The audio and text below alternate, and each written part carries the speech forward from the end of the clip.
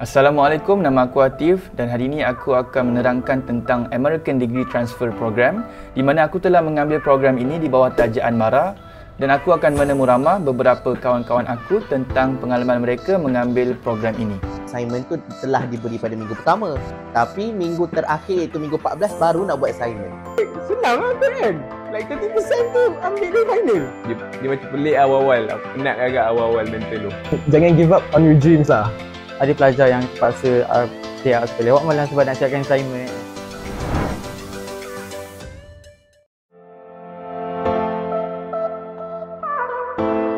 So apakah itu program American Degree Transfer Program?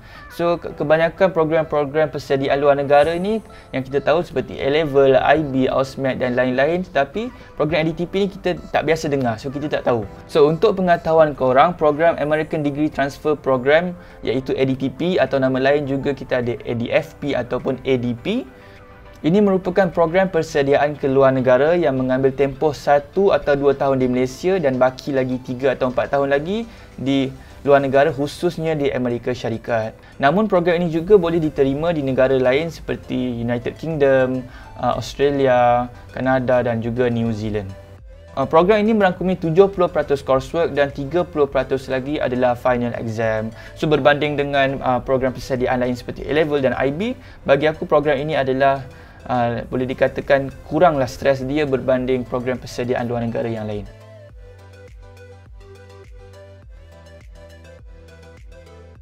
So bagaimanakah cara untuk mohon beasiswa program ini? So untuk program ADTP ini aku telah ambil di bawah tajaan MARA. Selain MARA kita juga ada JPA, Petronas dan lain-lain. So itu korang boleh tengok kat website diorang. So beasiswa YTP MARA yang aku ambil ini adalah program penajaan berbentuk pinjaman boleh ubah di mana MARA akan memberi allowance dan juga membayar yuran pengajian kita di dalam dan luar negara. So mesti korang confuse apa itu penajaan berbentuk pinjaman boleh ubah. Okey, pinjaman boleh ubah ini bermaksud korang perlu membayar balik jumlah penajaan korang setelah korang tamat tempoh belajar. So jumlah bayaran balik ini adalah mengikut percentage lah. So untuk program aku kalau aku graduate dengan CGPA lebih 3.5 aku hanya perlu bayar uh, 10% saja daripada jumlah penajaan.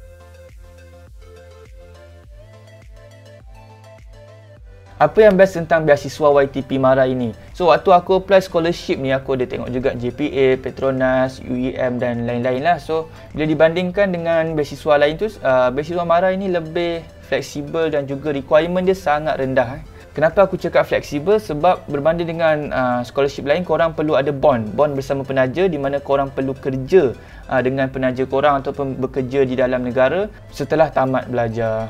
Tetapi kalau macam uh, beasiswa YTP Mara ini korang uh, tidak ada bond. Tak tak ada bond seperti penaja-penaja lain.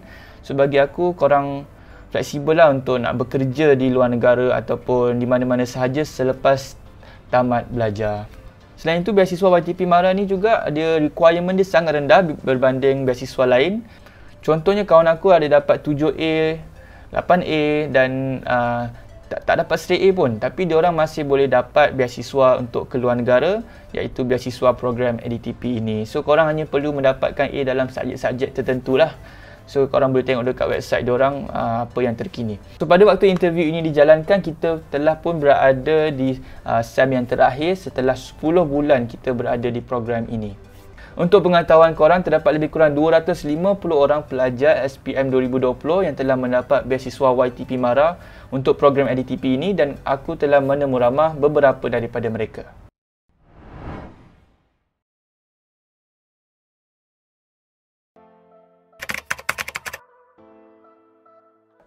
Hai, nama saya Taufik. Saya merupakan pelajar di International Education College merupakan pelajar American Degree Transfer Program atau singkatannya ADTP, Program Economic dan Finance. Dan insyaAllah saya akan terbang ke Amerika Syarikat pada bulan Ogos ini, tahun 2022. Uh, okay, uh, nama saya Muhammad Rauhan. Aku Abdullah bin Muhammad Syafi'i. Kat sini orang panggil aku Lah. Dan uh, aku juga dikenali sebagai Baba Intech eh. Okay, Assalamualaikum. Uh, nama saya Muhammad Haris bin Hari Hari. Hai, nama saya Izham Razak. Saya sekarang ni belajar di Intech Edition College uh, di dalam khusus bisnes dan saya ada di bawah tajaan Jabatan Perkhidmatan Awam.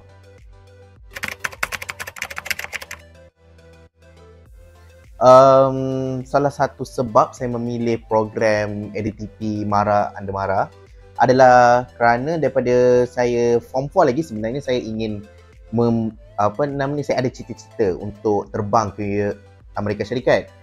Uh, namun uh, alhamdulillah selepas result SPM saya keluar walaupun saya tak dapat uh, pergi ke Amerika dengan tajaan yang saya inginkan buat uh, iaitu Petronas tapi Alhamdulillah saya dapat tajaan Mara untuk melanjutkan pelajaran saya ke Amerika Syarikat. Nampak UK, Jerman, bagai-bagai tu. Bila saya nampak Amerika, saya terus terpikat lah. Saya terus terpikat tu, saya terus pilih lah. Saya tak tengok yang lain. Tak kisah, tak, tak perasan pula ADTP kat Intech lah. Tak perasan program. Perasan je program American Degree Transfer Program. Awalnya tak tahu benda program tu. Tapi saya follow je lah asal ada jalan nak ke US. Okay, dulu aku sekolah SAS tau. And then uh, customer customer pula cek counselor aku dia bagi aku like satu link tau apply untuk YTP Mara. Okay, and then aku apply je lah. Lepas tu mana yang aku rasa related with my aliran waktu sekolah kan. Uh, aku dulu ambil social science. So ada economics, yang mana kaitan dengan economics, mana kaitan dengan accounts aku ambil.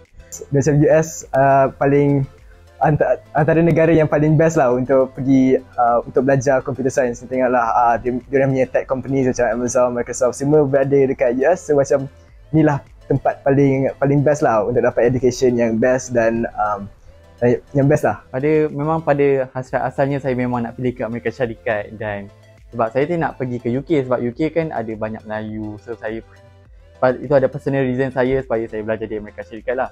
So saya memilih DTP sebab DTP ni adalah adalah one year straightforward program kepada Amerika Syarikat kan um, actually program EDTP ni tak susah pun yang menyusahkan program EDTP tu adalah diri kita sendiri sebab study plan dalam American Degree Transfer Program tu um, dia lebih memfokuskan pelajar untuk ke arah degree. Dan Alhamdulillah saya merasakan program EDTP ni sangat fleksibel. Uh, dalam kalau kelas pun dalam dua atau satu je sehari. Dan kadang-kadang ada hari tak ada kelas pun. Tapi still kita boleh meluangkan masa bersama rakan-rakan kelas untuk keluar. Jadi yang menyusahkan membuatkan program NDTP ini susah adalah diri kita sendiri apabila kita buat assignment tu last minute. Bagi saya dia susah awal-awal je. Sebab kita baru lepas SPM kita masuk ADTP ni, ADTP ni lain SPM macam study, study, study 2 tahun, lepas tu exam besar terus yang ni sebab baru terkenal dengan format ada test setiap minggu. Tapi lama-lama dah biasa santai saja. Dia dia macam dia bukan macam admit tau. Tak semua orang boleh buat admit tau. ADTP dia macam kalau kau study kau boleh buat, kalau kau tak study kau tak boleh buat. Ha, macam tu lah. Program ADTP ni paling antara yang paling senang lah. So macam contoh asasi UM kan. Asasi UM memang stress. Maksud saya tengok uh, A-level dekat KMB A-level dekat College Mara Seremban kan So 2 tahun lepas tu uh, ada final year exam tu macam susah lah Lepas tu IB, uh, IB memang uh, mana-mana mana-mana tempat susah So like uh, ADVP ni senang uh, berbanding dengan program lain Program ADVP ni susah ke? Saya rasa dia akan jadi mencabar kepada kalau student atau budak yang tidak boleh nak pilih banyak subjek. Contohnya kami kena ambil psikologi, computer science, English walaupun saya ambil belajar business kan. So maksudnya uh, kalau ada student yang tak boleh nak cope dengan macam ni so agak susah lah tu pendapat saya. Um, benda yang paling suka yang saya suka dekat program EDTP ni adalah flexibility dia. Kalau kita bandingkan dengan program persediaan keluar negara seperti IB, A-level, kita tahu bahawa program-program mereka adalah lebih kepada exam based.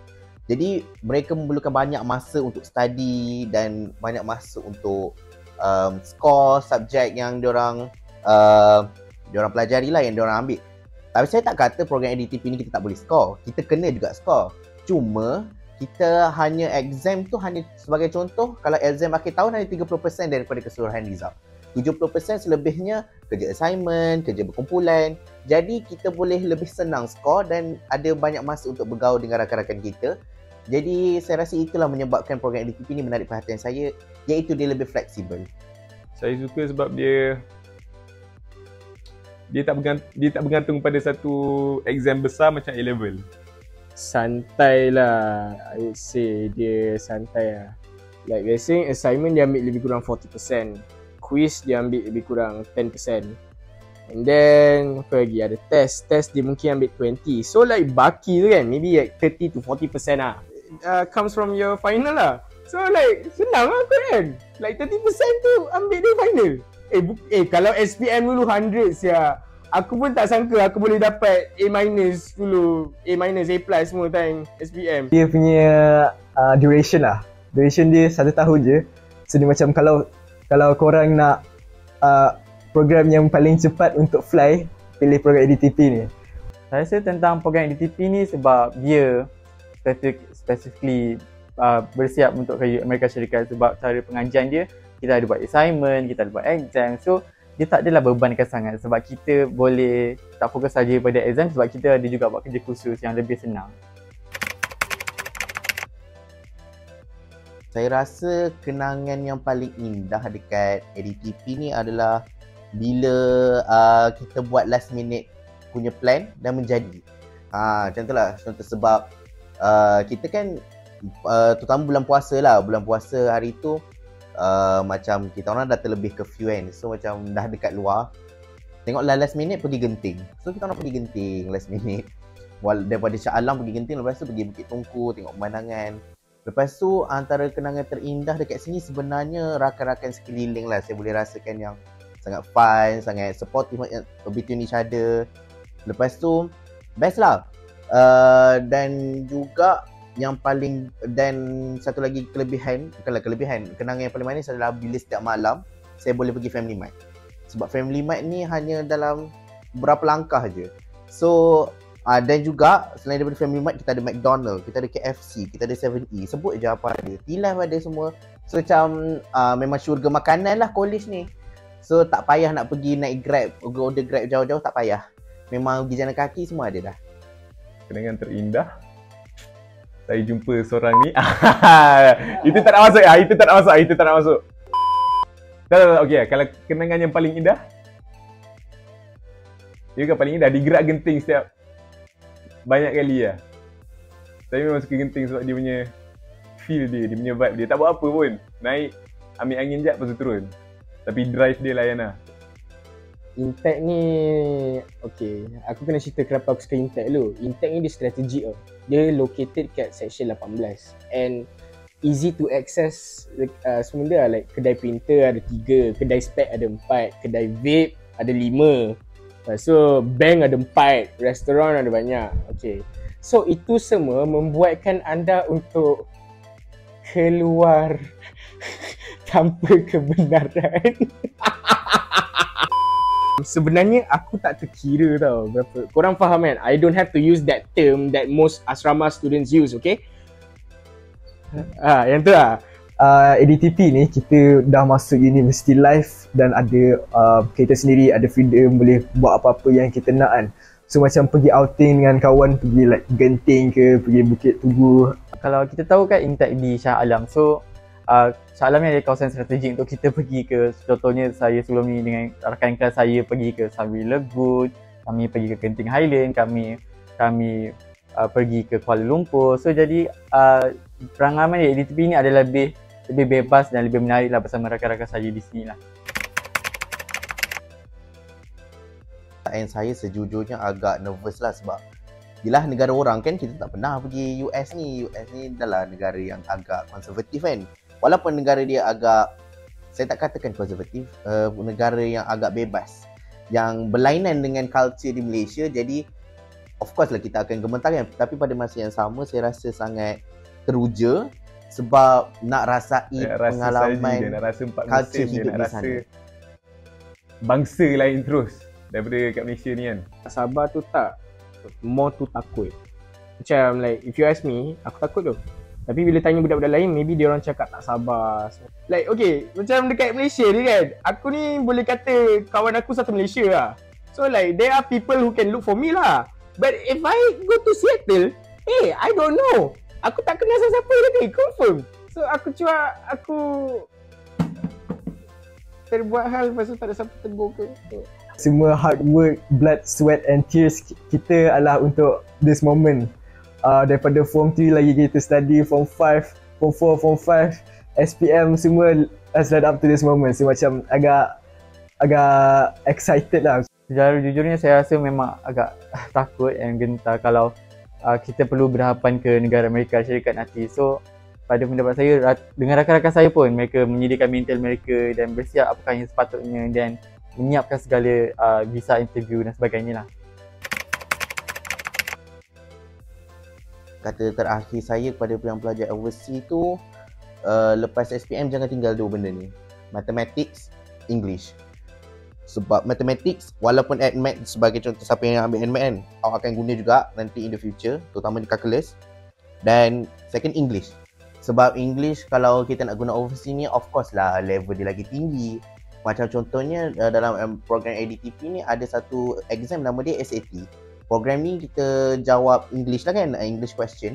Kita bayangkan sebagai contoh kita ni seorang bangsa yang uh, tak ambil bahasa, contohlah bahasa pertama kita uh, sebagai contoh bahasa Melayu kan. Kita nak jawab uh, soalan kertas yang dibina untuk orang yang mempunyai bahasa utama dia adalah bahasa Inggeris. Jadi susahlah kita nak uh, apa nama ni menjawab dan nak mempunyai pemikiran seperti orang yang first language dia orang adalah English.